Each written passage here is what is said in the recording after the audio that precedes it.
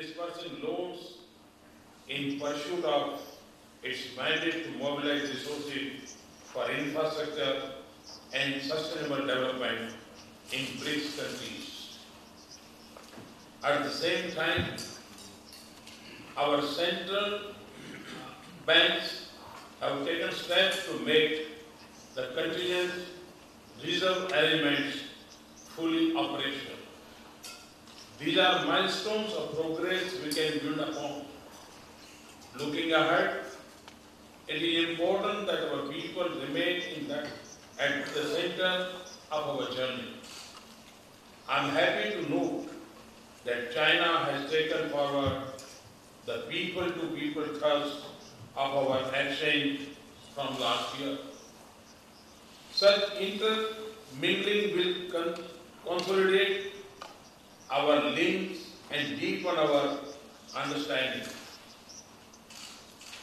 Excellencies, India's own far-reaching journey of transformation gives pride a place to our people. We are in mission mode to eradicate poverty, to ensure health, sanitation, skills, food security, gender equality, energy, education, and innovation. National programs of Clean Ganga, renewable energy, digital India, smart cities, housing for all, and Skill India are laying the basis for clean, green, and inclusive development. They are also tapping the creative energy of our 800 million youth. Our women's empowerment programs are productivity multipliers that mainstream women in national building. We have also stepped up the fight against black money and corruption. Moving forward, using the springboard of our national experiences, BRICS countries can deepened partnership for win-win results.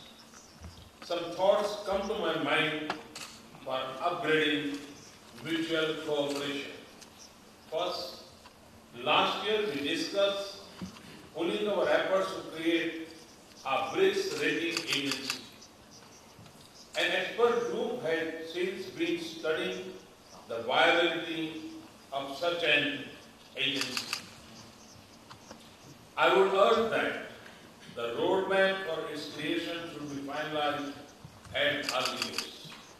Second, our central bank must further strengthen the capabilities and promote cooperation between the contingent reserve arrangements and IMF.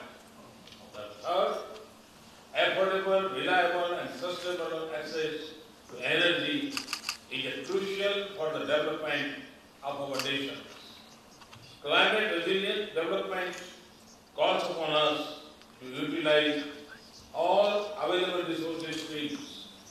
Renewable energy is particularly important on multiple counts.